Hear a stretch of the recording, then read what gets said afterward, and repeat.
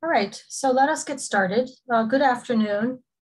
I'm Debbie McDonald, Jacobs New England Higher Education Market Sector Leader, uh, together with my co-chairs, Debbie uh, Donna Donayo, co-founder of this committee, and Miusha Arndt uh, with Perkins and Will. I welcome you to today's BSA SCUP College and University Roundtable on campus resiliency, flood, energy, and cyber. These BSA SCUP sessions are co-sponsored by the Society for College and University Planning and the SCUP North Atlantic Council. We have put together a panel, panel of experts today to discuss some important issues and, and approaches as you plan for resiliency on campus. We have a lot to talk about, so let's get underway. Bruna? Great, thank you, Debbie. Good afternoon, everyone. My name is Bruna, and I am a civil engineer with Jacobs in our Boston office, specializing in resilient infrastructure projects. Today, we have gathered six subject matter experts to discuss projects and innovations in flood resilience, energy resilience, and cyber security. At the conclusion of their presentations, we will have a moderated Q&A session, so please save your questions until then or write them in the Zoom chat as you think of them and we can address them at the time of the panel. So without further ado, let's get started. So what is resiliency and, and what does it mean really to be resilient, right? So resilience is the ability to survive, adapt, recover, and thrive from chronic stresses and acute shocks.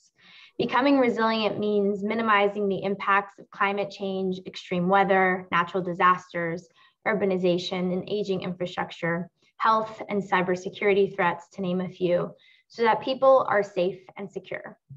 It also means increasing the capacity of individuals, communities, and institutions like colleges and universities to continue to adapt and grow, no matter what challenges they experience. Resilience is an attribute of a safer world and it requires planning and adapting ahead of potential hazards. Resilience helps colleges and universities strengthen and safeguard their people, communities, and assets, save money, enhance sustainability, fuel growth, and secure a more vibrant, prosperous future for generations to come. So let's get started.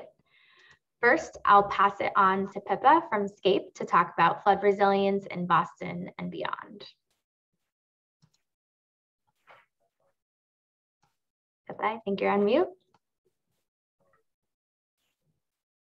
All right, there, I think I'm off mute. Um, so Bruna asked me to give a brief introduction to climate resilience planning, specifically flood resilience and risk in Boston. Um, so to reiterate what Bruna said, I really like to think about this in the context of resilience, though I'll focus on flooding. But this idea that resilience isn't just about just about reducing risk um, or, or keeping the water out, but it's what we need to do to survive, adapt, and thrive in the face of the climate change that we face. Um, and so I want to talk a little bit about Boston and Boston's resilience planning. Um, I am you know, I have, we have, at, I'm the planning principal at SCAPE, and you can jump to the next slide, Bruna. Um, and uh, we have done a lot of work in Boston, but I think I've also done a lot of work in New York City and around the country. And I think what's really remarkable um, working in Boston is you have a really strong framework um, moving forward at the city level um, for planning for climate change and resilience, particularly flood risk and resilience. So as you are working on campuses and planning in the context of Boston, I think these are really important um, lenses to, to look at and think about as well as resources. So I'm going to kind of give an overview of, of climate planning. I'll, I'll talk about some neighborhood scale resilience planning work that we did um, to talk about, a little bit about the process and considerations and different strategies for flood risk reduction.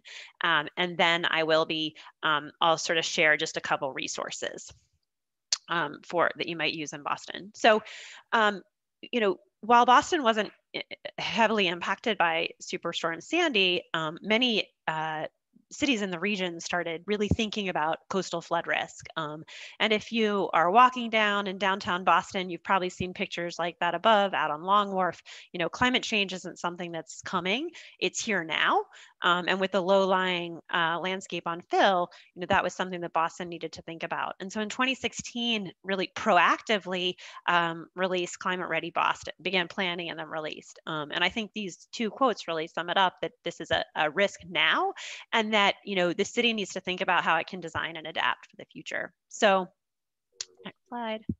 Um, a couple things that I think are important about this plan and to resilience, particularly flood risk resilience, flood um, risk reduction and resilience planning in, um, in particular is thinking about it as layered strategies. So everything that I talk about can be layered on what Doug talks about, can be layered on what the other speakers are talking about, that it's not just one hazard, it's multi-hazard and thinking about um, how these things are layered together. And that's really built into the framework in Boston, which is wonderful. Next slide. Um, I think the other thing is that there were some very clear strategies laid out in Climate Ready Boston um, that are being implemented now. So uh, these are not just, this is not a plan that sat on the shelf um, and a lot has stemmed from it. Next slide. Um, the other thing is it's gone hand in hand with a lot of work. There's a lot of work that goes side by side. Um, the flood planning and it's really um, in sync with Imagine Boston 2030, the city's long-term vision for the future, um, as well as thinking about resilience, not just from flooding, but from like an equity standpoint um, in Resilient Boston, and a number of guidelines, both at the citywide scale, um, as well as specific um, things that may be useful to you in your day-to-day, like the climate resilience design guideline standards and, and flood resilience design guidelines. Um, but I think one of the critical um, pitfalls that folks come into when thinking about particularly coastal flood resilience planning is oh you know how do i build a wall how do i keep the water out um, how do i reduce risk but it's really we don't want to think about reducing risk and flood risk if we don't know what we're um, what we're working towards, right? Resilience is about being able to thrive. What is it that you want to achieve to thrive? So having that long-term vision, whether it's for the city of Boston or whether it's for your own campus planning, um, is really critical in terms of going through that vulnerability and risk assessment and knowing where you want to go. Next slide. In Boston, one of the key approaches, particularly to coastal um, coastal resilience, was habit looking at things at the citywide after climate ready, but developing neighborhood specific plans that developed specific strategies um, for how uh, for how each one of these at risk, vulnerable, low lying neighborhoods will adapt um, to climate change, particularly coastal flooding. And I'll, I'll dig in a little bit in more depth on the Climate Ready Dorchester plan, which SCAPE worked on, um, but I think gives you a lens into the, the process um, and the types of um, analysis and recommendations that all the plans make. So next slide. Um, and those unfolded, like I said, out over, over time. So these are things that are ongoing. Um, plans are done, but they're really living documents. Um, and there's two plans ongoing, which is right now, which are phase two of um, the East Boston and Charlestown plan, if any of you are working in those areas. Next slide. Um, the other thing, and, and we we at Scape were really fortunate to work with the city of Boston on, is not just thinking about things in individual neighborhoods, but coming up with a citywide vi vision for resilience on the harbor. Um, and this is a project that we worked um, with the, the, the city uh, environment department and mayor's office um, to really uh, flesh out and realize um, that really tried to depict the shoreline and, and what the city envisioned um, for protecting it, but also making it vibrant in the future. Next slide. And so, uh-oh, hmm, oh, well, sorry, I missed a slide slide there, but the um, the you know I think that the issue the city has has really gone with because of the low-lying nature of the coastline a you know a perimeter defense strategy that starts to elevate and harden um, the shoreline. The risk there is always do you cut the water off? And i think what boston has really done is really thinking um, about strongly and as you're working in campuses on waterfront to think about too is how does how does flood def- how can flood defense infrastructure integrate and layer with um, ensuring ongoing access to the waterfront, making it more physically resilient, but also making it more socially resilient and, and enabling that long-term access and vibrant waterfront that a city like Boston is so well known for. Um, and that was really a philosophy that we brought to Climate Ready Dorchester um, uh, planning effort um, and something that we really heard again and again from stakeholders. So, you know, going back to what the point that I made about you know, needing to understand risk, but also needing to understand sort of where uh, where you're going, what it is that this the community wants to thrive, not just what's threatened. Um, when we looked at Dorchester and we spoke with uh, community and neighborhood, everyone people in neighborhoods across the sorry in sub neighborhoods across the neighborhood were really interested in getting to and using the waterfront but it is really cut off from many and most of the neighborhoods by the infrastructure that serves the city um, by the the roadways like morrissey boulevard the highway the commuter rail the t line um, that these provide barriers to the waterfront barriers that make it hard for people to easily get there, but unfortunately not barriers that keep the water out. There are many flood pathways through openings. So there are often areas of the na- neighborhood that don't really have a perceptual connection to the to the harbor, but are still at risk from flooding. Um, and so the the strategy for Dorchester was really to look at, you know, are there coastal resilience design solutions where we can layer and combine investments in improving access with closing those flood pathways and managing the water around them in order to create a more resilient um, and sh- uh, shore. Next slide. So that was really the the um, the philosophy that guided this plan. Um, and I think I want to just walk through a little bit of the analysis um, in terms of resources uh, approaches you may think about as you're looking at coastal flood risk um, in in other neighborhoods or in other districts or campuses. But also to kind of understand the planning process that's been done, used in these neighborhood plans in the context of any organizations or institutions um, that are here. UMass uh, Boston obviously is is here in, in Dorchester. So this was the the area, the coastal um, portion of Dorchester. Next slide. Um, next slide. Well, I'll just kind of run through these a little fast because I'm behind. So it's a very varied shoreline from the um, beaches. And it's really shaped by the fact that the whole shoreline used to be tidal wetlands. So there's layers of physical and historic analysis. Next slide. Um, also kind of understanding the land ownership and infrastructure as well as um, diversity and equity um, and, and the demographics of who is able to use the waterfront is a, is a really important, um, uh, important issue and commitment um, from the city at this juncture. Next slide. Um, and so when we talk about flooding, it's important to understand how flooding happens. Um, and in Dorchester, you have sort of low-lying areas as well as these narrow flood pathways. Next slide. So as we look at flooding over time, and Bruna, you can just kind of flip through these slowly. Um, you know, the risk from that that flooding, both daily tidal flooding as well as coastal flooding, grows over time. And you can see those inland areas um, with those points of inundation. And so when we did the plan, you know, understanding that resilient strategies needed to combat or overcome these um, this flooding, we, we divided and su made sub-districts within the neighborhood based on that flood risk. So they were connected by the, the water, by the hydrology, by that flood risk. Next slide.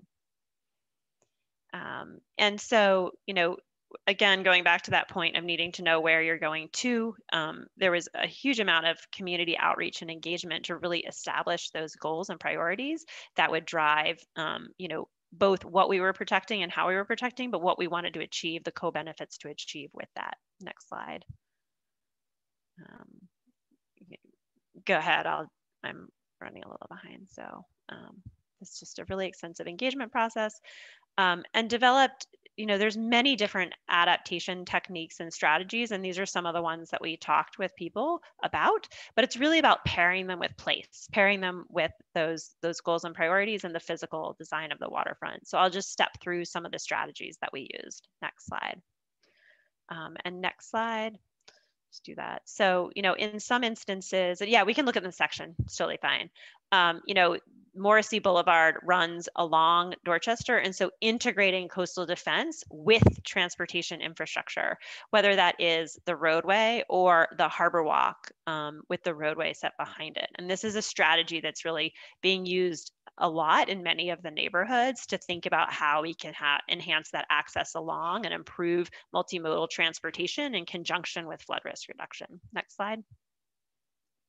Sort of moving down to this area of um, Tenean Beach, um, and Victory Park, where you had narrow but well loved and utilized parks outboard of the highway, is how to build up and enhance these parks in a way that still provides um, that diverse as access along the water and maybe even new experiences and expands that up with adding and layering boardwalks. So next slide.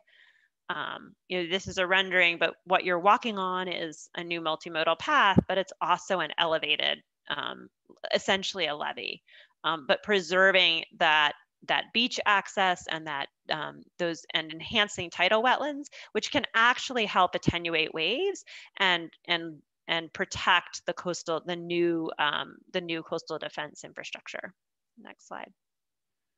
Um, so the climate ready dorchester plan was one of the first plans also to look at at you know combining building level adapt in in low lying areas combining um, lower level protection with building level adaptation and how we would build out strategies for that. So there's are some neighborhoods that are dense and connected to the water and it may be more about what we do at individual buildings and sites. Um, next slide. So you'll see that here.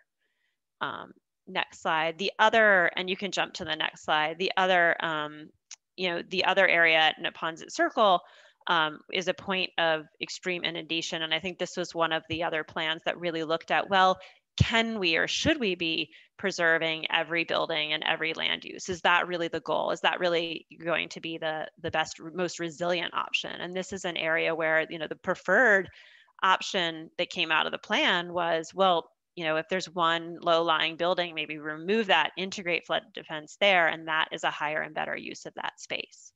Um, and so balancing those. And then finally, along the Neponset River, the tidal marsh is a much less, uh, much more lightly settled area.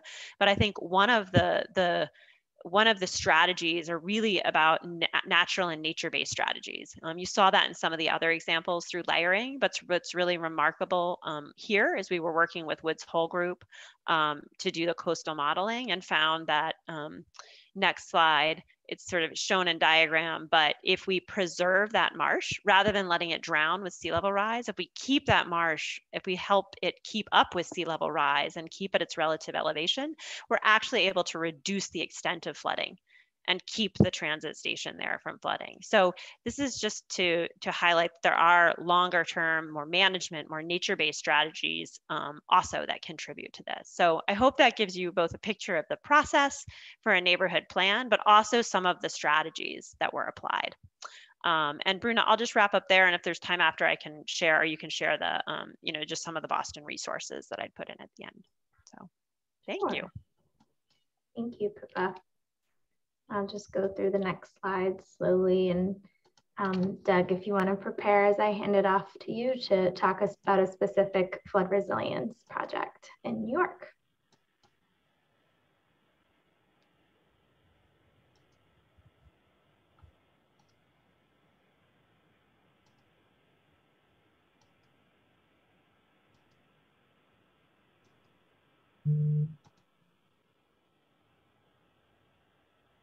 Go ahead, Doug.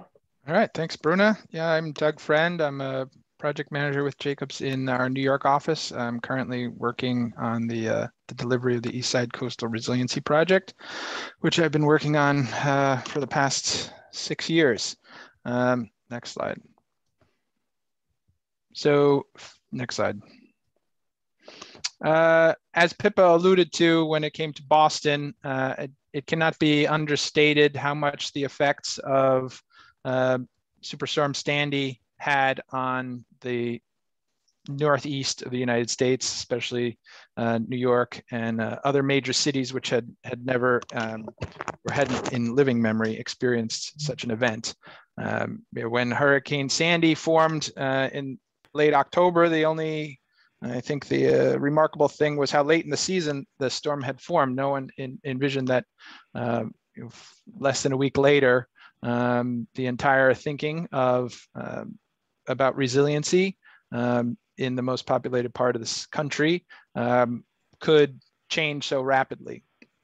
Uh, and as we just passed the nine year anniversary for that storm on the 29th. Um, as an example, in 2009, uh, in the city's first resiliency plan, the greener greater New York, coastal resiliency was barely mentioned. And you know, one of the primary goals uh, when it came to that was ensuring that the FEMA flood insurance rate maps were accurate. Um, that all changed obviously after Hurricane Sandy made landfall. Next slide. Um, and you know, this isn't just as an example, uh, what passed for flood planning uh, and preparation. This is a photo which was taken uh, near sunset on October 29th at the Battery, which is the southern tip of New York, where the highest tide uh, in Manhattan was achieved, which is 14 feet above the mean low lower water elevation. Uh, at the time, you know, there was no thought to preparation or any sort of uh, risk mitigation measures be, besides uh, layering sandbags at doorways. Um, I mean, this is just placed at the end of the esplanade. It's uh, really just an ex exercise in saying that they did something. Uh, next slide. Well, of course, uh, the impacts of Sandy were awful. Uh, 43 New Yorkers, I believe over 90 um, people in New York, New Jersey were died because of uh, Hurricane Sandy. Obviously, there was uh, impacts to hundreds of thousands of residents who were living in the flood zone in New York City. Um, all elements of our transportation system were impacted. Uh, the utility networks, the vulnerabilities to that utility network were uh, made clear when uh, southern Manhattan was plunged into darkness.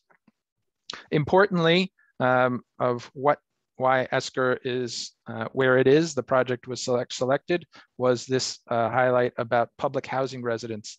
Um, they were particularly hard hit uh, as the public housing uh, generally had been constructed in areas which were um, closer to the shores uh, in Coney Island, the Lower East Side, uh, in the Bronx, and in the Red Hook, Brooklyn, uh, areas which in no, no thought had been given to the vulnerability of those buildings, those people uh, to coastal flood risk. Next slide.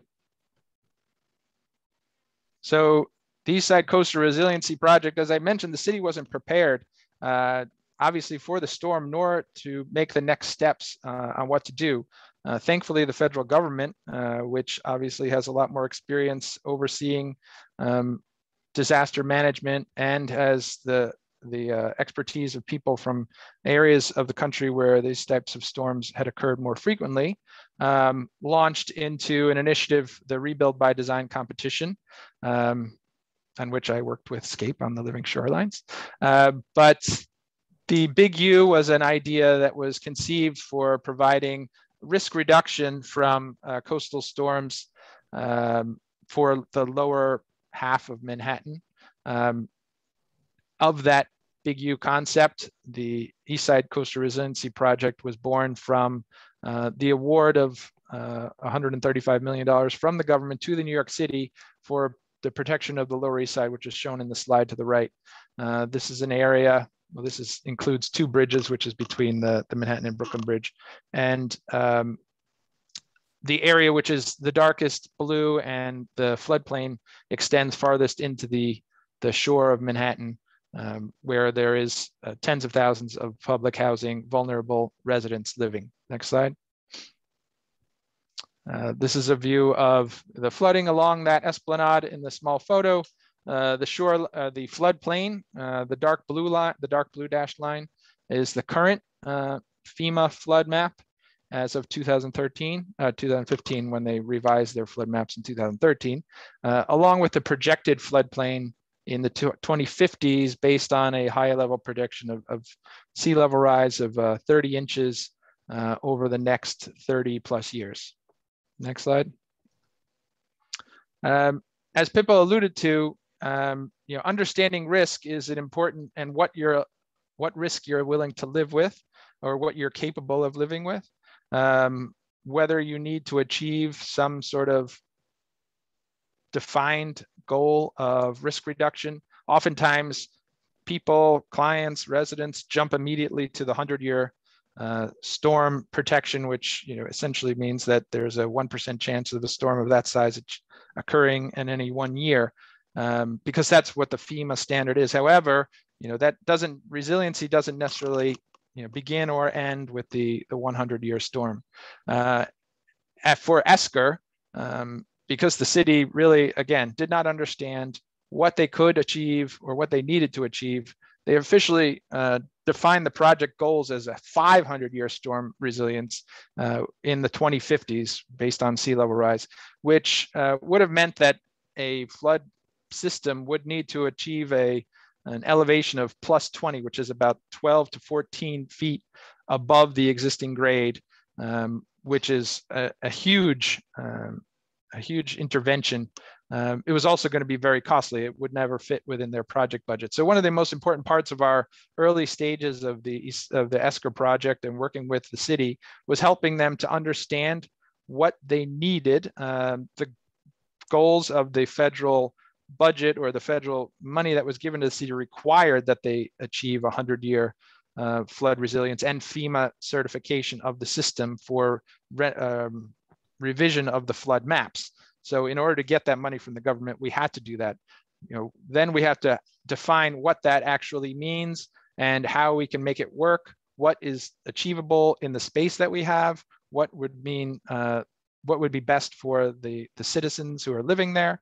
Uh, and eventually we achieved a, um, a system that has a 100 year storm tide design, but also has a resiliency to a 500 year storm event, meaning that a 500 year storm event wouldn't collapse the system uh, or destroy, you know, or it would overtop but not uh, cause the collapse of the system. And then we built in some adaptability for um, 100 years from now being able to um, to add to the system so that they can, if they if sea level rise uh, continues at a pace that they weren't expecting, that they can still achieve that 100 year um, protection level uh, level of protection. Uh, this is just a, a graphic. This demonstrates you know where we are with the current mean high water elevation uh, in the East River, which is plus 2.28, uh, where and where we need to get to for that FEMA certification of plus 16 um, based on a 30 inch sea level rise in the next 30 plus years. Next slide. Uh, one really, you know, the rebuild by design uh, idea for the Big U um, was for a bridging berm, uh, which what they defined it as the bridging berm.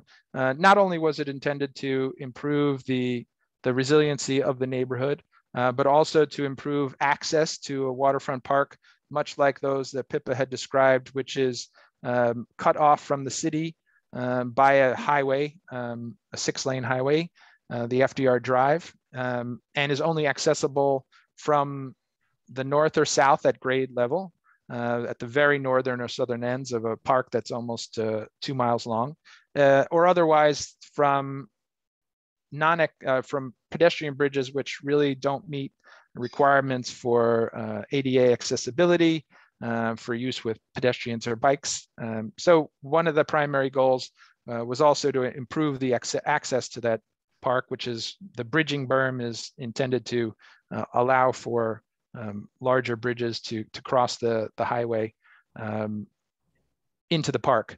Uh, one important element that was overlooked in that idea was the, what the constraints were going to be uh, on building a berm large enough to allow for the bridges to cross over the highway and provide that level of protection um, in a very limited space of a park that's relatively narrow and runs uh, a good way along the, the, the river and the highway.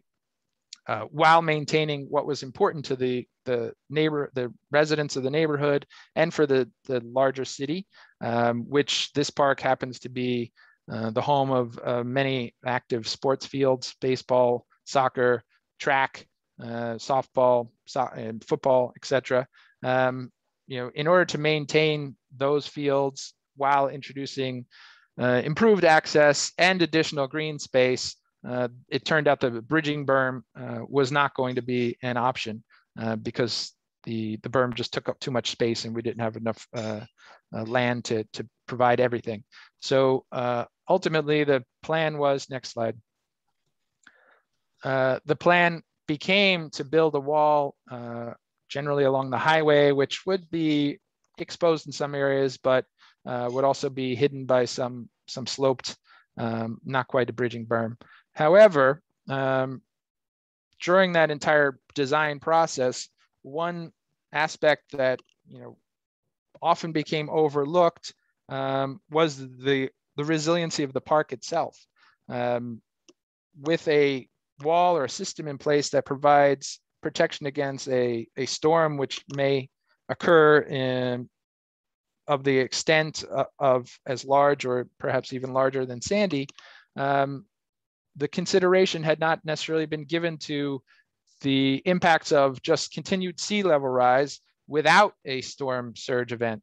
You know, in a low-lying park along the waterfront, of which New York has many and other cities have many, um, the risks from monthly or even weekly inundation with salt water um, really could be a, a, huge detriment to the plants uh, and habitat of the park uh, or the usage of the park if drainage becomes a, a long-term issue or a consistent issue.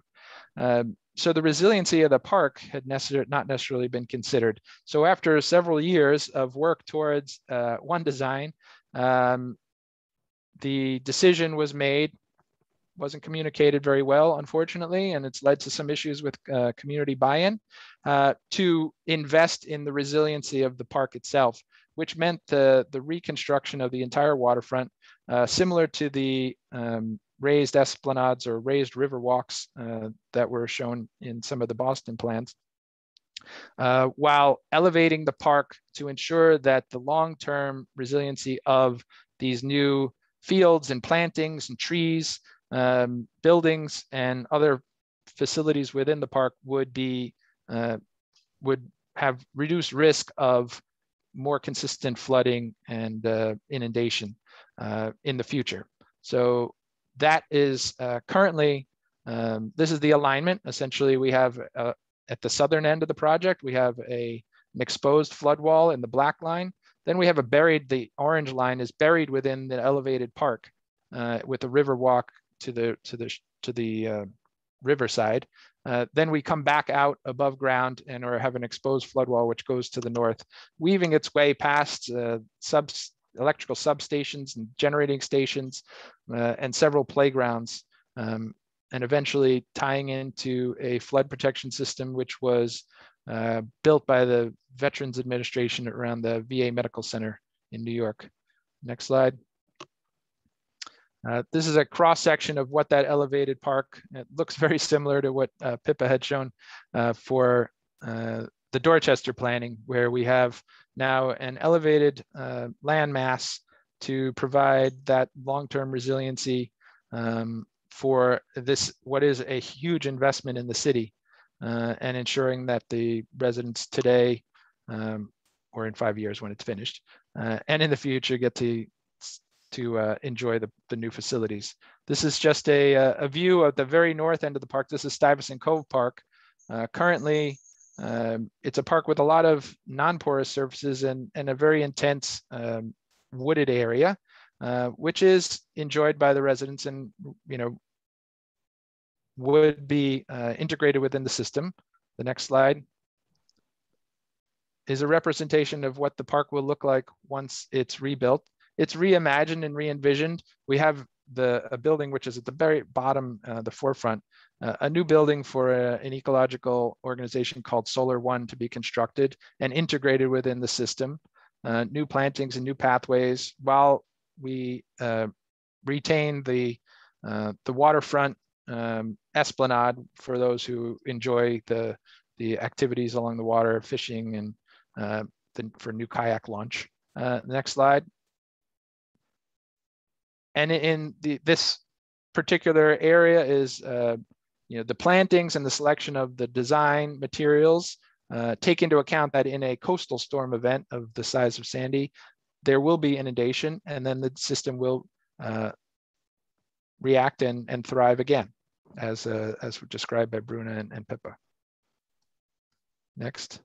Uh, so some of the, the quick lessons learned, uh, you know, a, a project um, as the size and complexity of Esker, uh, you know, there was often pressure from elected officials who, you know, may not necessarily be in office for the duration of a project, uh, wanting to find solutions and begin, you know, get that shovel in the ground immediately or as quickly as possible.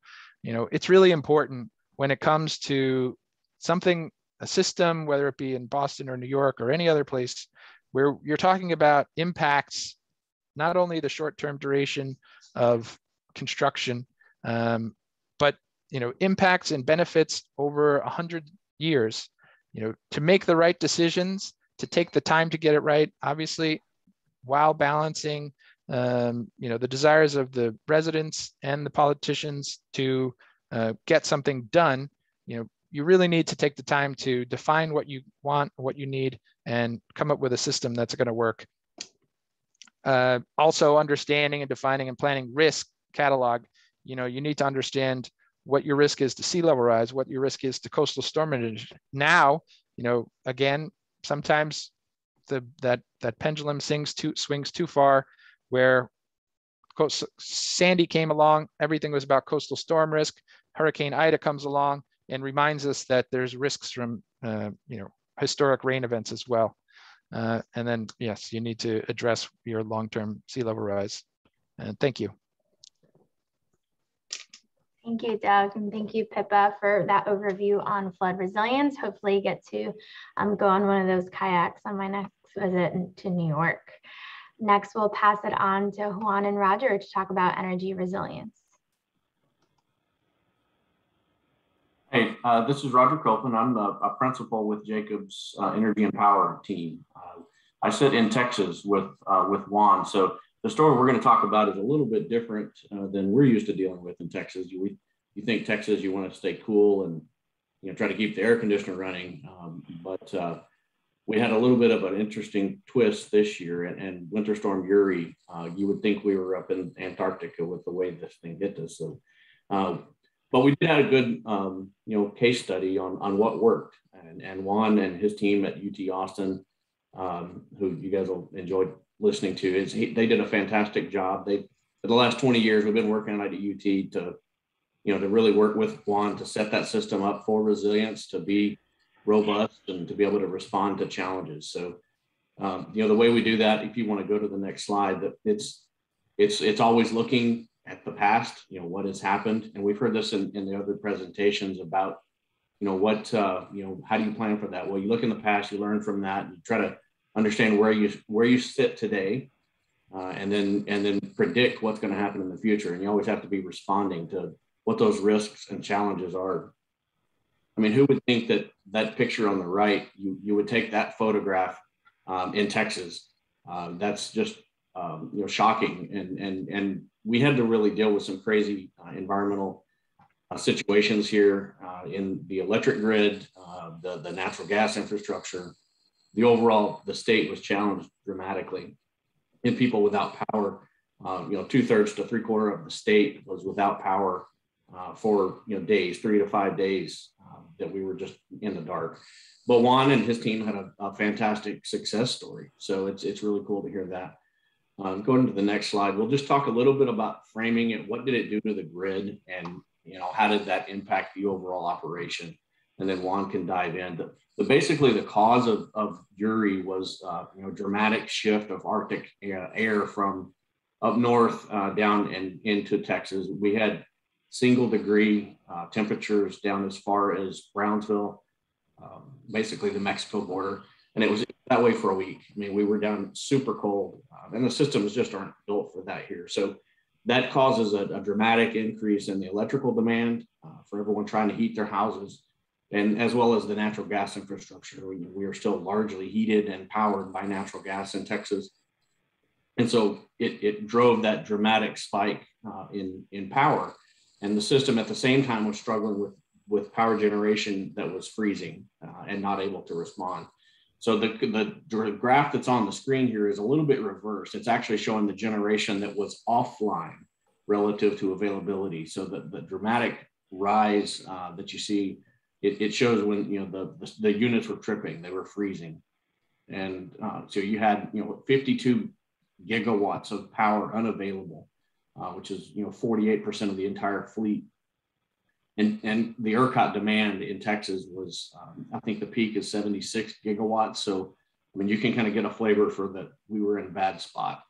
Uh, technically, according to the ERCOT statisticians, we were four minutes and 38 seconds from a statewide power outage that would have lasted for uh, two weeks. You know, they, there it was it was really going to be catastrophic. But the system did respond. And when we talk of resilience, the ERCOT control system actually did respond and kept the system what was left online, and it, it did what it was intended to do. But uh, we we have to learn from that. So now we're at our, our current present is now looking in the in into the past of how do we learn from this event. Uh, and so we're, you know, the ERCOT grid is, is responding. There's a lot of uh, Senate and, and legislative changes that are coming to, to impact um, better performance. But there are things that we can learn from, from Juan and his team and what has worked very, very well. Uh, Juan, I'm going to pass it to you and let you kind of tell us the, the good stuff. Thank you, Roger. Roger and I have been working together for a long time, so I like to say he cut his teeth on some of the things that challenges that we had on campus. So tell a little bit about us. You know, we we self-produce 100% of the energy for the campus.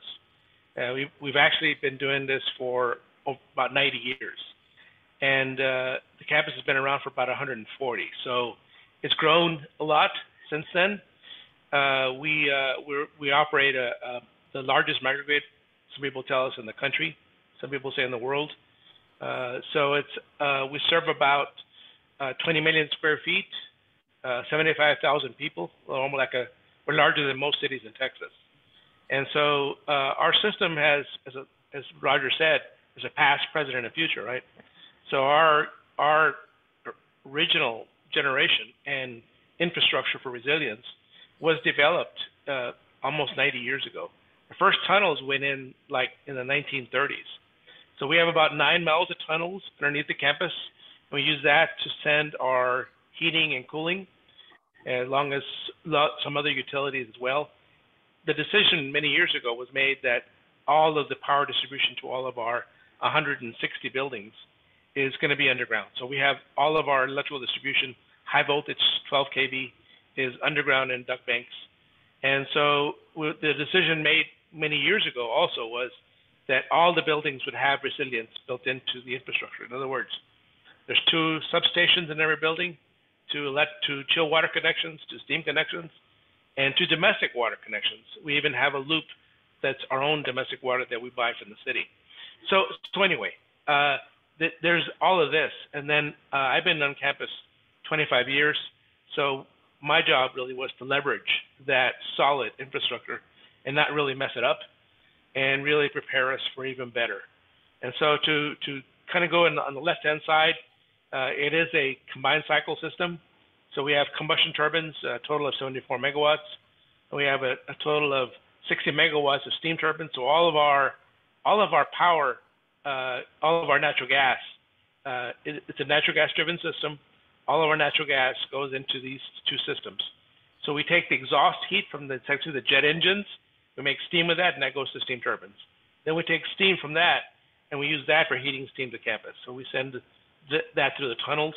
We also have boilers because uh, if I gas turbine trips, which again, uh, those boilers make it up and allow me to keep my steam system going. Because I have about nine miles of tunnels, I don't want to lose the steam system. In in 90 years, the campus has never lost its steam system. That's essential because if I don't have steam, I cannot produce power. So we're dead in the water until that recovers. So our system is designed so that I also have a connection to the Austin Energy and to the ERCOT grid as through through their uh, substation. It's a very yeah, I'm not even going into detail into how our system is designed, but there's redundancy built into our substation, redundancy built into our, our loop system for power in the buildings. So if I trip, if something happens on my side on the power side, I can import 25 megawatts. But if I can't, if I don't have uh, but I can't import steam. So I have to have the boilers. That's what they're for. All of our 30% to 50% of my peak power, which is 60 megawatts, uh, is cooling. So we're focused a lot on really on cooling efficiency. All of our chillers are electric chillers, and uh, we also have a thermal storage system. We have 82, uh, about 6 million gallons, about 10 million gallons of thermal storage, two tanks, and it's basically make chill water at night, and use that to offset peaks during the day. So it's so it's a very convoluted system. Uh, all of the system is one system, uh, so it's all one steam system, it's all one power system, it's all one chill water system. It's all looped. So it's very challenging to manage this infrastructure and to and and knowing what's happening throughout the buildings. So if we go to the next slide. So the key to us to, to our success really is is this microgrid controller. So if you look to that, so you can see there the gray arrow says net zero to the grid. So that's how we operate. Our system is designed so that we don't buy any power, we don't take any, we don't sell any power. We basically just self-produce ourselves. We actually consider ourselves at risk if we're buying power because the grid is less reliable than us. We've only had five outages on campus in 54 years. So that's a, it's a tough thing to, it's a tough standard, uh, but it's driven because of our research focus. We have about $500 million worth of research going on in campus all the time. And so they're spoiled to our performance. We also have, well, because of the way we design our systems, the way it's designed, it's also very focused on efficiency. You know, our efficiency in, in 2019 was 89% total efficiency. That's total solder bought, electricity, steam, to water divided by fuel in. So it's just, this is very tough to sustain this. So we have we operate net zero to the grid. We have four transformers that that allow us to have that interconnection with the grid. So Roger mentioned the issue with the grid that happened during the freeze, and that was very challenging. That, what people don't realize, so if it we were within a micro, I mean a small portion of hertz of tripping the entire system in the whole state of Texas. We were within like three hundredths of a hertz of actually tripping everything. That's how bad it got in Texas. And uh, so, but our system is designed to protect ourselves. So what happened if, if the grid had, had tripped, in other words, not available, and so we, the our connection to the grid never left. We stayed, and that's primarily because our system also serves, or the city system that serves us, also serves hospitals and high high risk areas in in the middle of the city, so they couldn't trip us. Uh, but anyway, we, we assumed that it was going to go any second. And so all of our generations uh, uh, was stayed online. We were fortunate that we kept our had our most efficient equipment uh, running at the time, most more resilient. But it's designed for efficiency. We do inlet air cooling to maintain our full capacity on combustion turbines. Our boilers are designed to only we only produce the amount of steam we need at the campus. We don't overproduce. We only produce the amount of power we need and the only amount of cooling we need. And our system cooling, you know, we're we're really the best in the world in terms of cooling. A typical kW per ton for a chiller in a commercial building is like 1.2. Our average annual efficiency is 0.59. So there's there's all of these things add up to that's how we protect our jobs. yeah, so I, the dollar they, that I use is the dollar the campus can't use. So all of these things together comprise our, our microgrid controller that delivers electricity, steam, chill water, and hot water to the campus.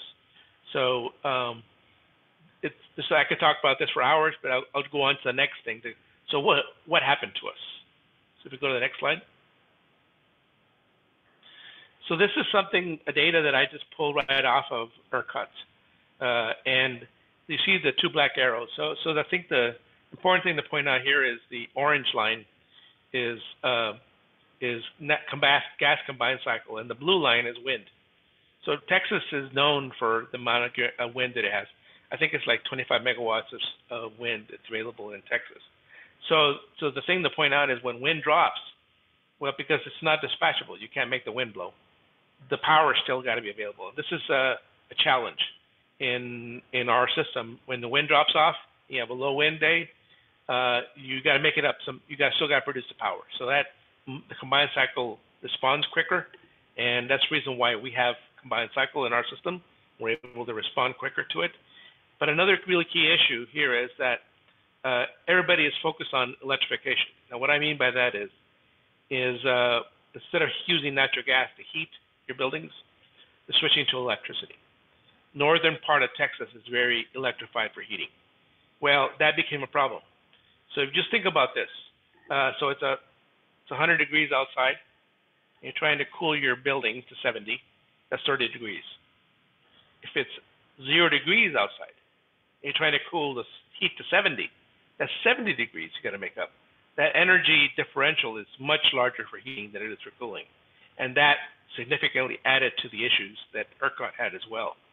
So, so what happened? You can see right there what happened on right around the end of uh, January, as you can see, the wind and solar just tanked basically.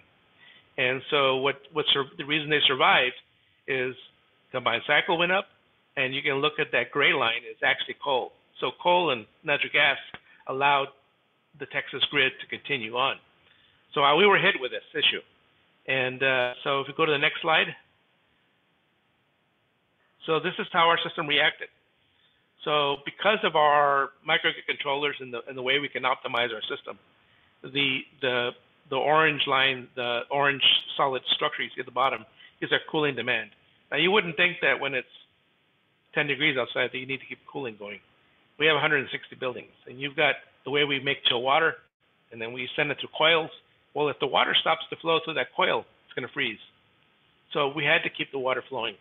So we're able to drop it from about like 15,000 tons down to like about less, a little bit less than about 4,000 tons is what we went down to. Because of our system, we're able to really uh, go lower it as, as, low as possible. The uh, the or, the yellowish line in the middle is power. You can see we went from like 25 megawatts down to like 18 megawatts, and that was the lowest we could take it because of our generation equipment. Otherwise, it would have tripped as well.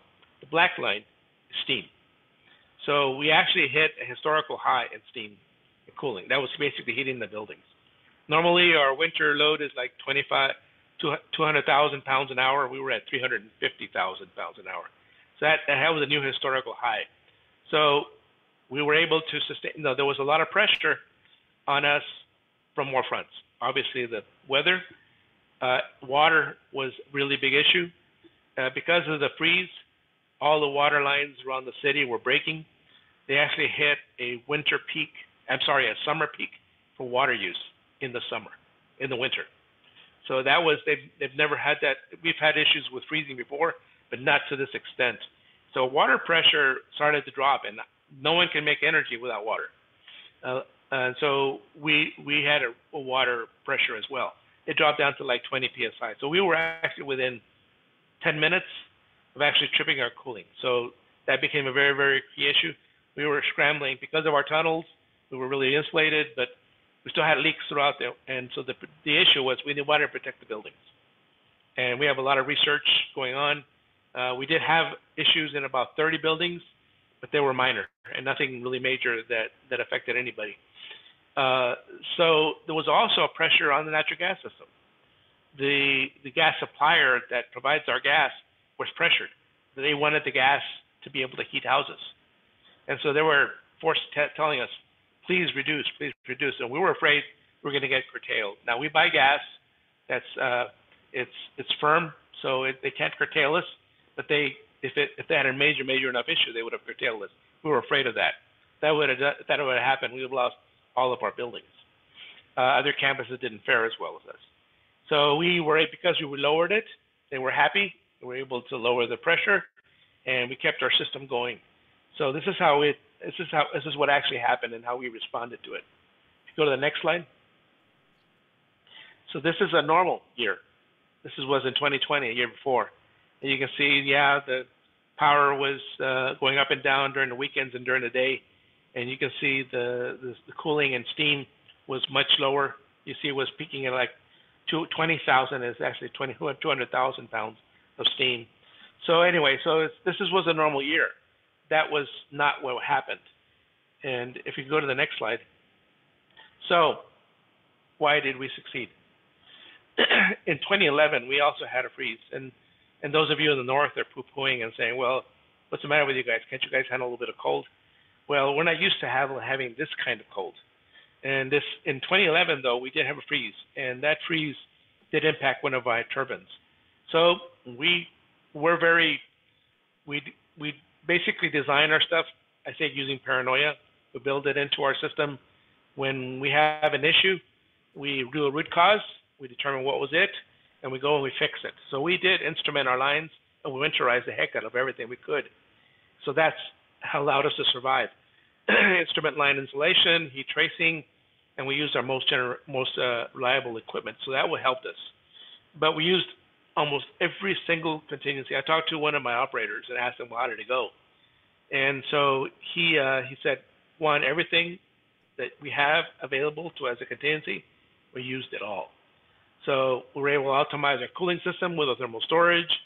we had done a very large project, about $5 million project to upgrade our electrical system. And uh, that was completed. That was that allowed us to really see what was happening throughout the campus. We are able to manage it. Uh, we could also manage our, if I have a steam turbine and running, if it trips, I have too much steam. I've got to do something with it. Well, we have a system that allows us to deal with excess steam as well. That's called a quench vessel. That's another discussion. But our basically the key is our microcontroller. So the way it works is there's an upset, something trips, it kind of keeps everything running and lets everything run.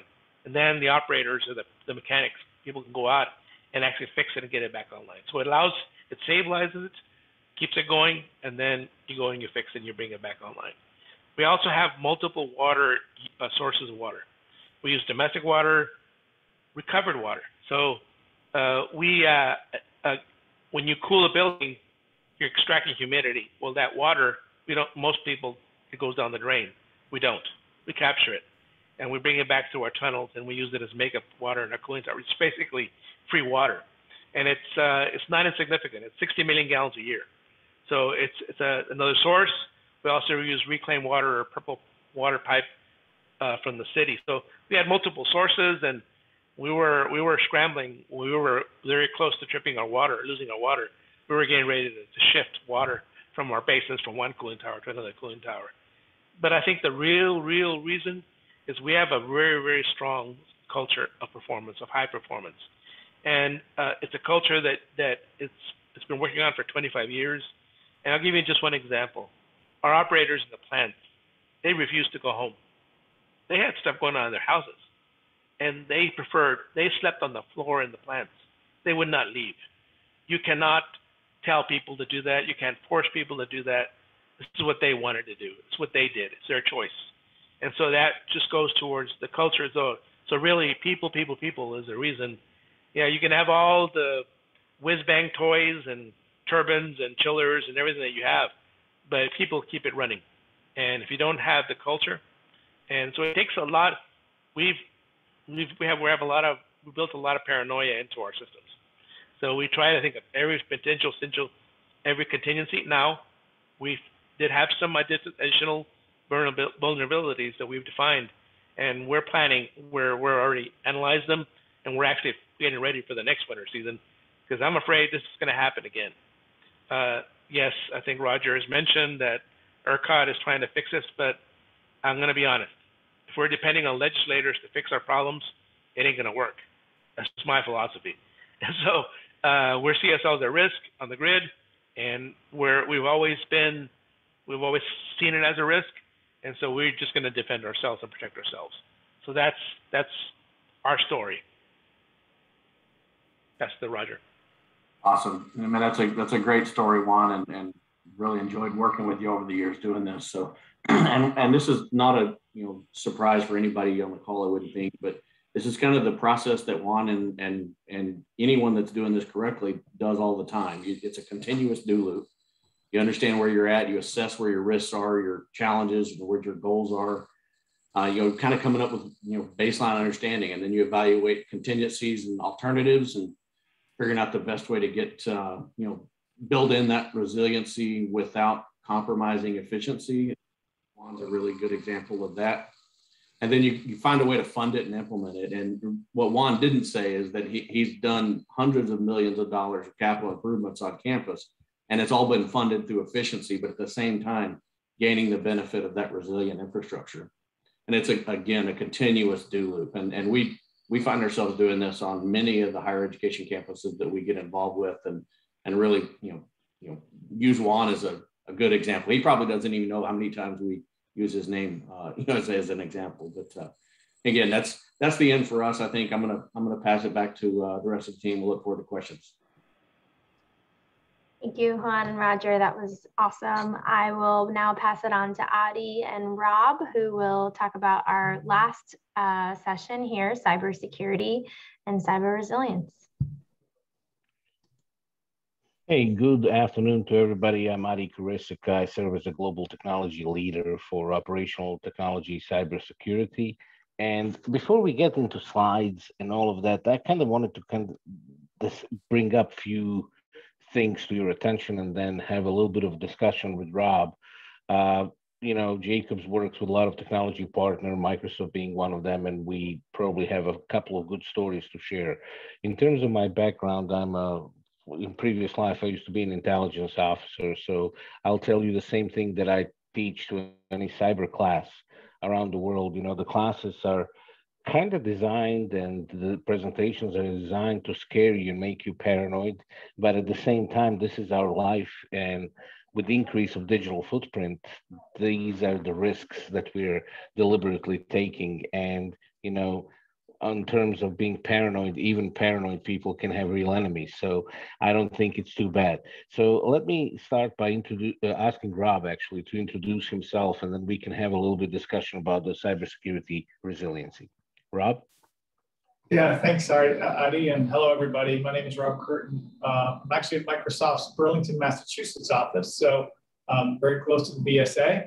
Uh, I'm in the sort of the backstage area of our Microsoft Technology Center. Um, my responsibility is our worldwide higher education team. So I actually report to a Redmond-based organization.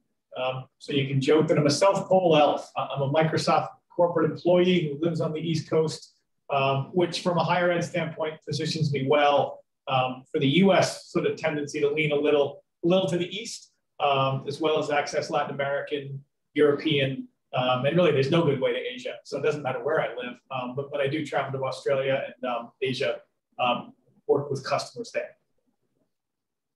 Okay, so Rob, Rob, maybe to define the, the scope of the problem here, what is the biggest challenge when you think of cybersecurity and how do we see it in a contemporary uh, educational campus? What, what do you guys see that as a challenge?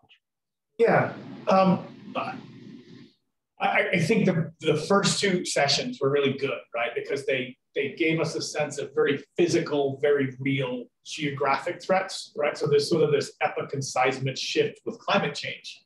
Um, and then you have this concept of consumption and power and, and, and use. And so when you think of the cyber world, I think we need to we need to define two things. There's the cyber context, which is you can't really see it, right? The encroachment is not as visible and scary as the seawall rising. Um, we can't really show what it looks like when the water rises three feet and Tenean Beach spills into Dorchester and Morrissey Boulevard goes away. Um, those are very physical, tangible, kind of hit to the core of Maslow's hierarchy. My, my physical needs are threatened, right? Um, and then you look at consumption based, where there's some type of external event that triggers consumption that we didn't plan for. And I think you know, higher ed experienced that perfect storm in, in both cases. A year ago, March, when we went from in an entity that defined itself um, by, in many cases, the pride of their physical plant, the pride of their wonderful architecture, buildings, traditions, um, libraries, community. And while digital was a complement, physical was the thing. And then all of a sudden, everyone was sent home and told to deliver class, conduct class, do research, um, and, and do things in a digital way, obviously because of the pandemic. But as many people point out, you know, these trends were already happening. Um, students were demanding more flexibility.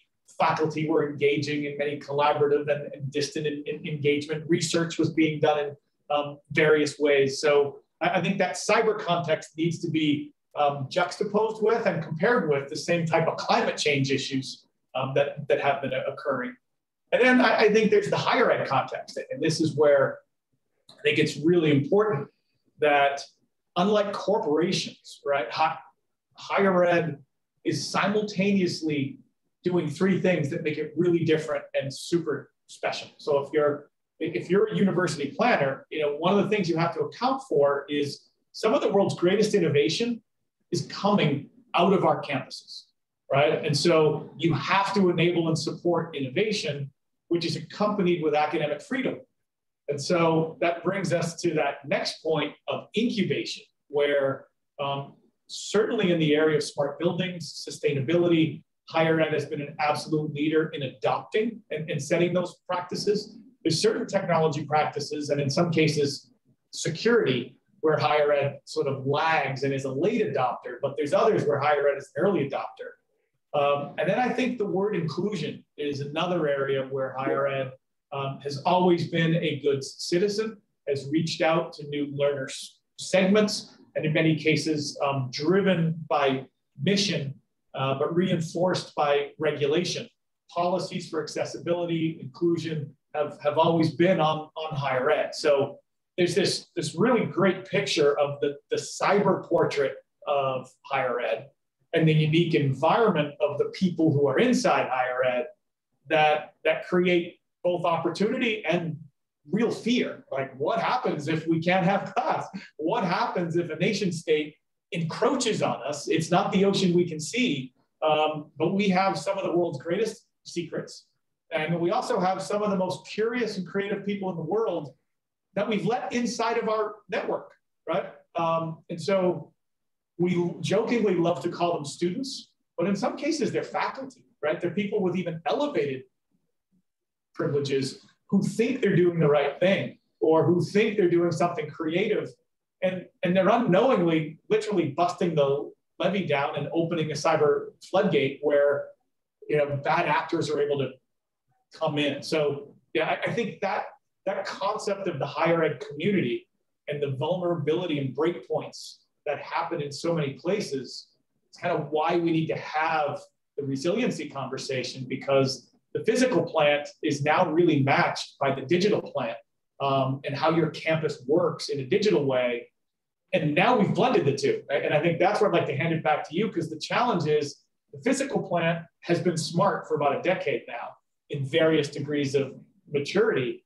And so ownership, governance, management between physical plant and IT has really come to a head on most campuses.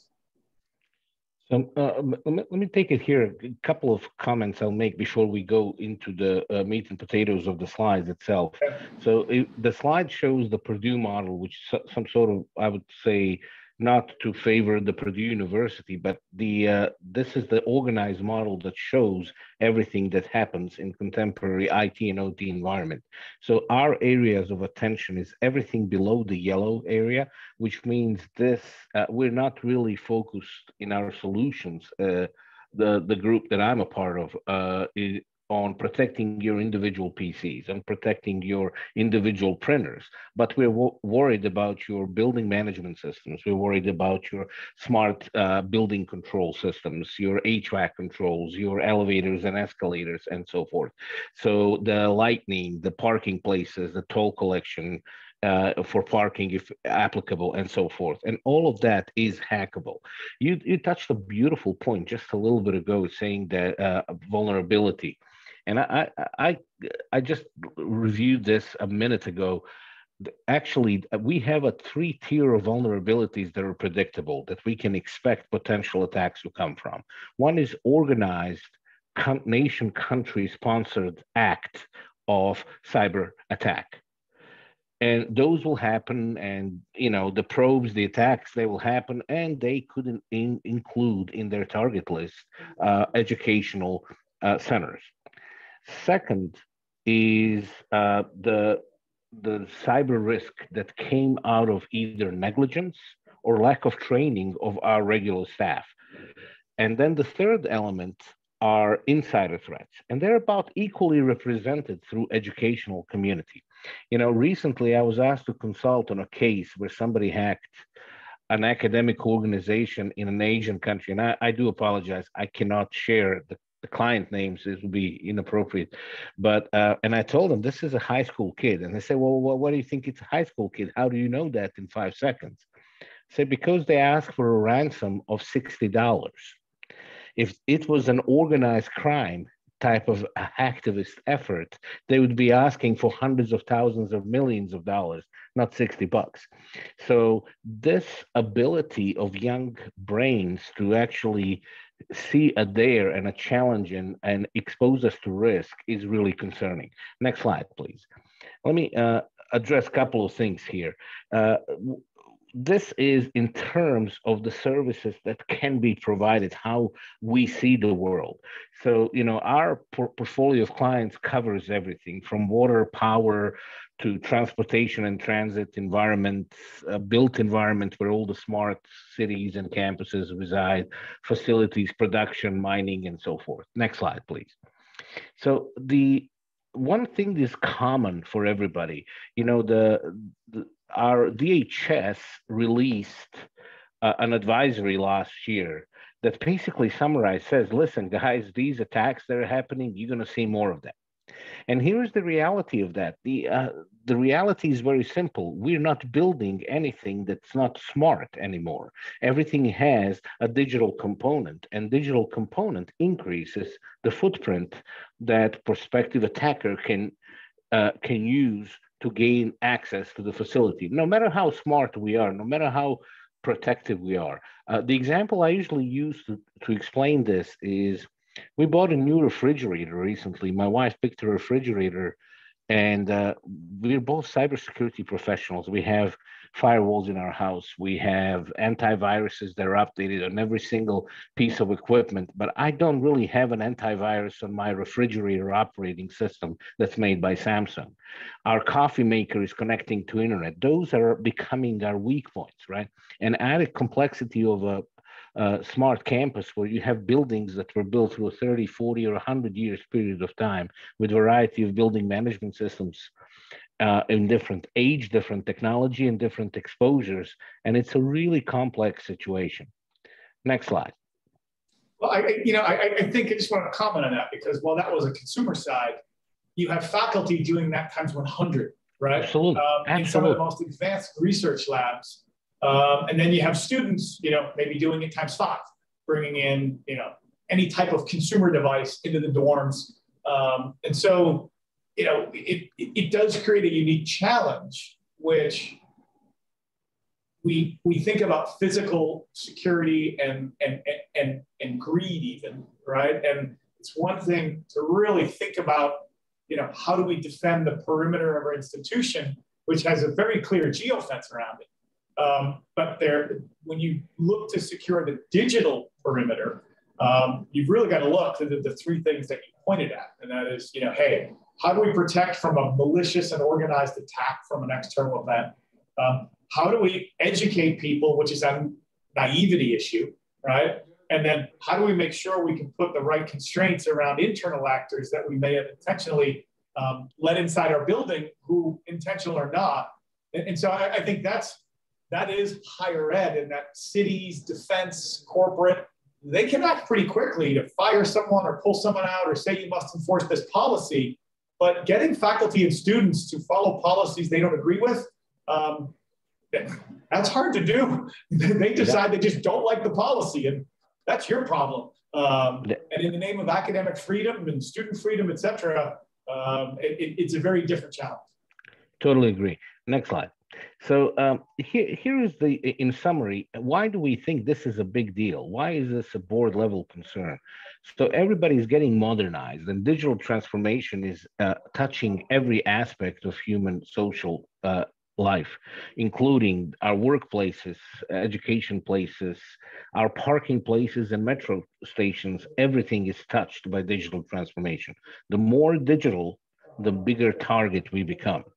However, digital is necessary. And, uh, you know, I was in a conference uh, last week with some of my colleagues out of UK, and I was asked a question. The easiest problem then is let's disconnect everything. Let's not use internet and we're going to be safe.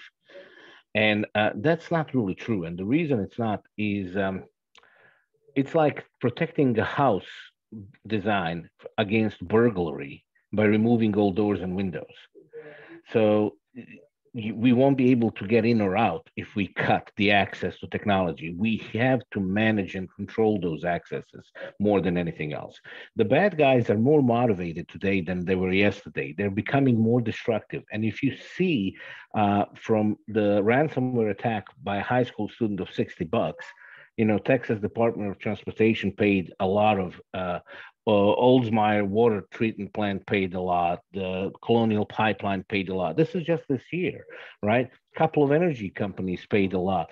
So these attacks are repeating and they're asking for more money each time. And our current infrastructure with security operations centers does not have the ability to track infrastructure cybersecurity risk. Next slide.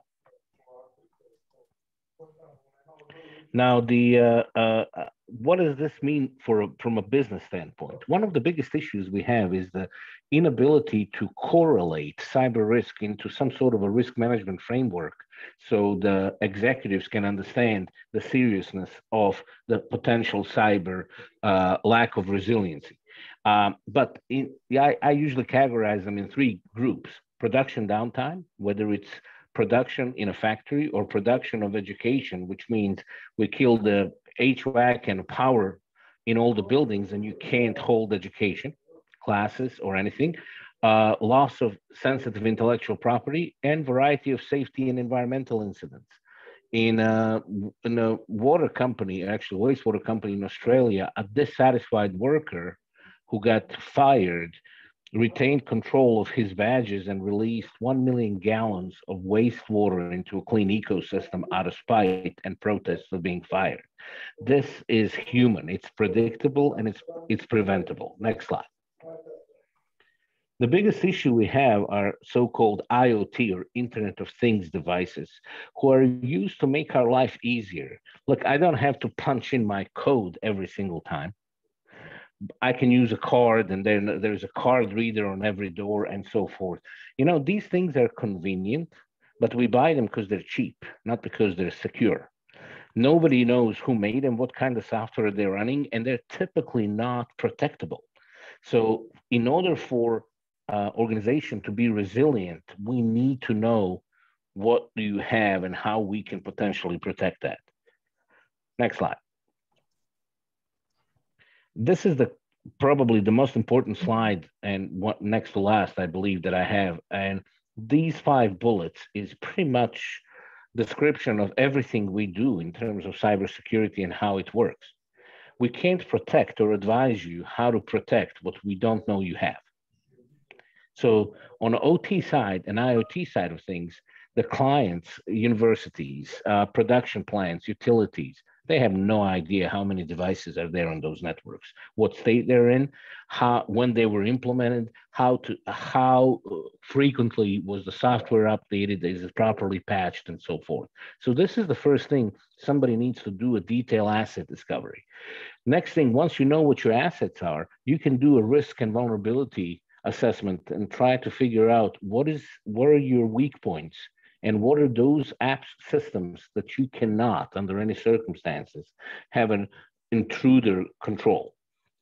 From that, you design a threat monitoring, incident response, and threat intelligence buildup that increases your operational efficiencies. And finally, it produces uh, tools and data that will help you shape your governance model and how to deal with these cyber threats. Hopefully that makes sense. Next slide. There are three types of solutions that are implemented in infrastructure world and in education world. You know, everybody's afraid of the C word, the cloud world, you know, and because uh, people believe if they physically can wrap their hands around the computer that's on campus, that it makes it more protected. Well, here is the news, and I have no problem sharing the news. Uh, I understand the resistance, and I understand the theory of air gapping and saying, no, it's not a big deal. We can always operate those systems manually. But here comes COVID and you don't have staff to operate the systems manually. Uh, in next 10 years, the, in, the reliance of cloud will be more 10 to 20 times than it is today. However, uh, I don't think majority of our clients are ready to go cloud day one. So what we what we typically suggest is three different approaches.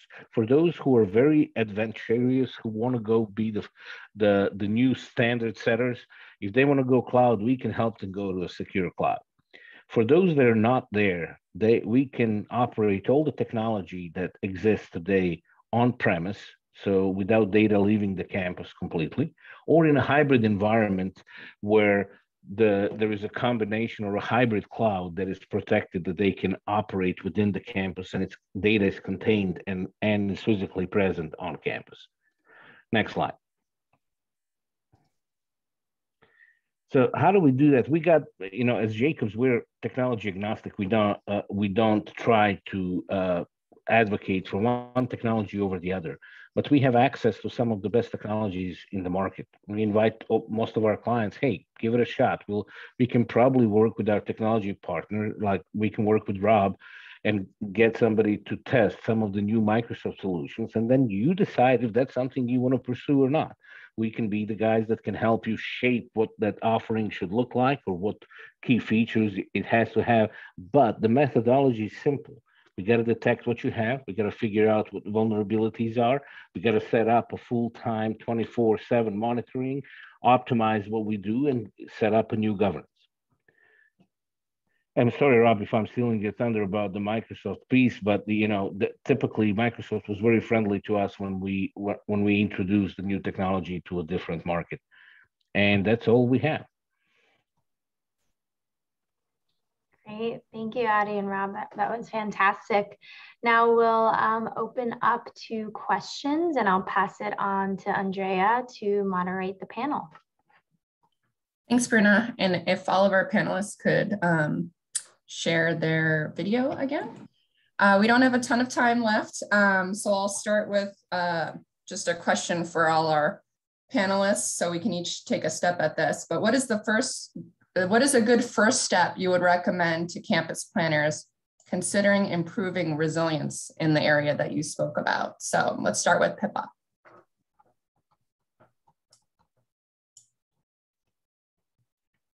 Sorry, I thought my, um, I mean, I think one thing is really, um, like I said, knowing knowing where you're going, what what you and your campus need to thrive. I think people first jump to the hazards and the risk.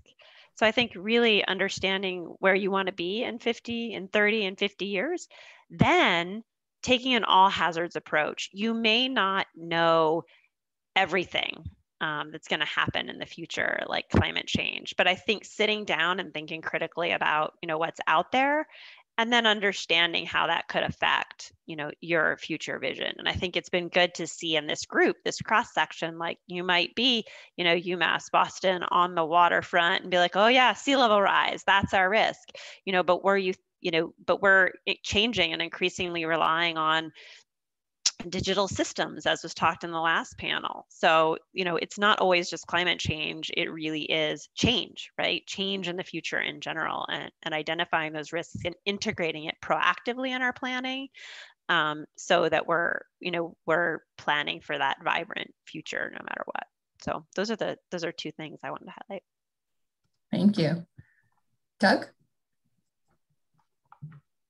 I think we can skip to, to Juan and Roger. Doug had to hop off.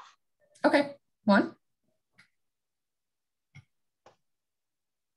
No, I think that um, the the question that was raised was how do you do all this stuff? You know, it's it is a lot of stuff. So I, I you know, we have a philosophy. We call it the I cubed um, principle. So it's incremental improvement using innovation. So we have such a complex system. What is the innovation? So there's a a risk, and we actually try actually incentivize risk taking, uh, but we try to take small chunks. We implement it, we check to see if it worked. It worked, fine, go on. What's the next one? We immediately go to the next one. So you're always incrementally improving. This, our system is, it's taken 25 years of effort, of blood, sweat, and tears. And so it's, it's, you have to be very persistent, but the most important thing is you got to start somewhere. I'll just tell you a quick story. When I used to teach at an institute, and uh, I had a person I was talking talk about metering. We have a thousand meters in our system on our campus, and so he said, "Well, you know, I can't get my boss to put in one meter." And I said, "Okay, well, Timothy, what is your goal for the year? Get your boss to let you put in your first meter." Next year, I saw him again. He had one meter in. He said, "I got my meter in." I said, "Okay, now your next challenge: what are you going to do with the data?" How are you going to use it? You always have to be thinking about, uh, okay, how am I going to move forward? And so that's the key thing in all of this efforts and all of our all of our our efforts here that we're talking about is how, what is that first step I'm going to take, and then how I'm I going to build on it? Great. Is, is Roger still on? Yeah, I'm here, and and just Awesome.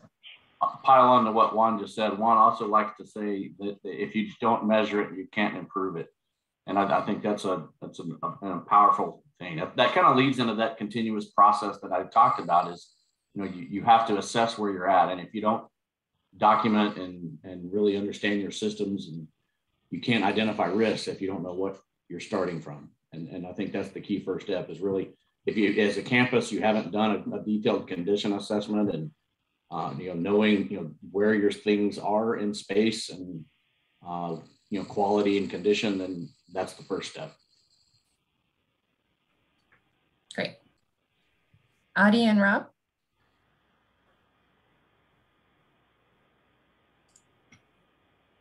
Adi, I'll you're just- muted. Yeah, I'll, I'll just hop in. Um, I, I think obviously there's, there's wonderful planners here. Uh, cyber is no different than physical in the sense that it, you know, first you have to measure it. You can't improve it if you don't measure it. It- It's that concept of it, right? And, and I think cyber is becoming a critical part of the brand experience for a university today. Um, and so the sort of governance silos that are facing institutions I think are, are still clearly split between digital and physical operations when the experience of faculty, community, fans, students um, really don't differentiate between the two.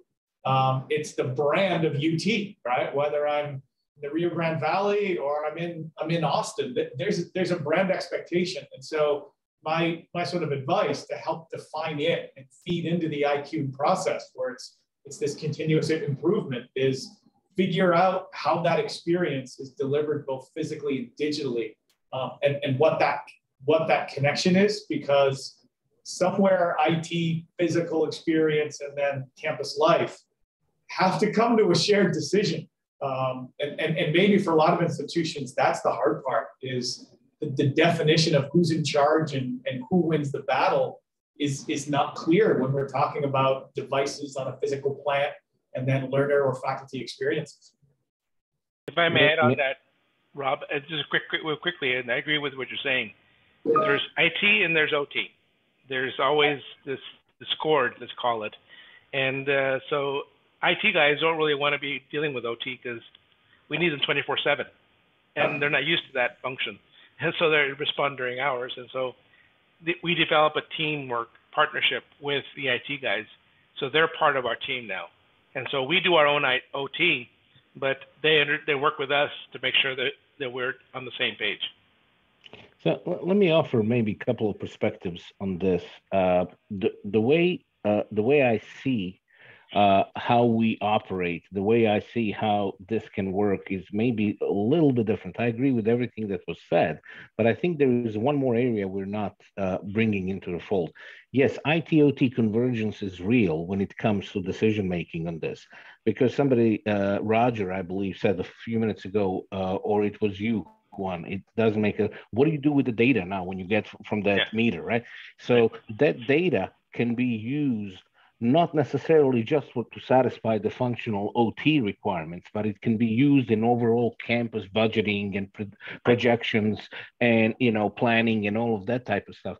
So uh, and then you're going to have a natural pushback from IT and OT because they once they get sucked in into being a part of this, then it's their budget that's going to be used to buy all of these sensors and equipment and systems. So two big issues uh, and points of advice. One is get your workforce trained. One of the biggest points of failure that we're recording is when we set up a system somewhere and we set up IT and OT and we train them.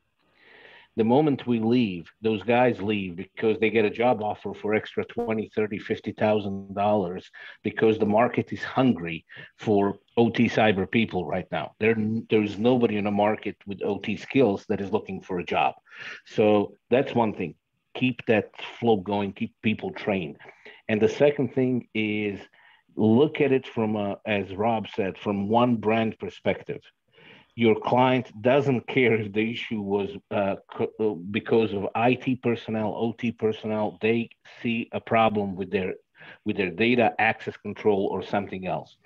Uh, you know, we learn from Department of Defense in how they manage their facilities a lot, and they have combined and merged IT and OT teams, and that works just fine. So that angle is there. We just have to push people towards that angle. And the last point is when you're doing planning, make sure you get your cybersecurity guys on day one to be a part of that planning because very often we see that people come with great designs that are just not defendable and not protectable. So if you have them there from the day one, at least they can tell you if that's something they can protect or not. Thank you. Thank you, Adi. Yeah, that really and translate to the phys. I just want to say I think that translates to the physical design too. One of the things that we found in campus planning around resilience and green infrastructure is that really having the maintenance and operations teams on board uh, from the outset wants to inform this or your design and how it's going to work, um, but also to do that long-term planning um, because none of these systems and infrastructure, it's not like you design it and you just walk away from it. So I think that's a really good lesson learned across um, all all of these types of resilience. Exactly. Thank you, Andrea, for, for moderating these questions. I know we would have lots more to say, but our time is up, so we're going to have to close. Uh, and thank you to the presenters, all of you, uh, wonderful insights. Uh, this has been recorded, so if you want to share it with your colleagues, it will be up on the BSA website probably in about a week. Um, thank you all for attending. If you want to look for future BSA events, go to the BSA website, future SCUP events. There's an event this Friday, uh, North Atlantic SCUP with um, Dr. Paul LeBlanc, president of Southern New Hampshire uh, University, and then a regional SCUP coming up at UMass in person uh, in March, and then an in-person SCUP National in Long Beach. Uh, still looking for proposals, I think, upcoming for that. Um, but thank you all. Take care and appreciate you all joining. Brad. Thank you. Yeah, thanks.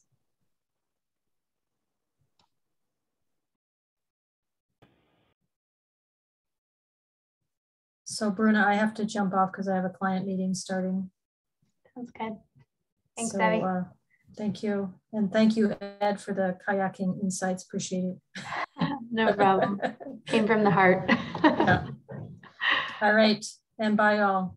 Bye-bye.